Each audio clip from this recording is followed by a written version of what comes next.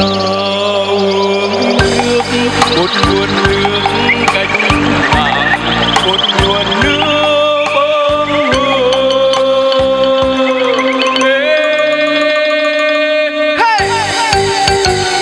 ta gọi mùa xuân tới, cho tiếng ca rộn vang. Ta gọi mùa xuân tới, cho tiếng chim rộn ràng ta nghe trong lòng vui những bước chân trường sức vừa đoàn quân giải phóng mang mùa xuân